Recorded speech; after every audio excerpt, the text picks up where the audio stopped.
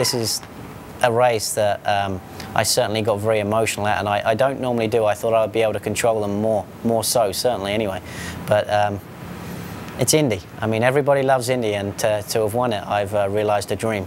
I think that as tradition would have it, uh, the inevitable is definitely, you know, rookies make mistakes. So um, I'm going to go with that, and I'm going to build, and I'm going to learn, and then when I start pull from every time and win because I don't make any mistakes, then we'll all be happy, right?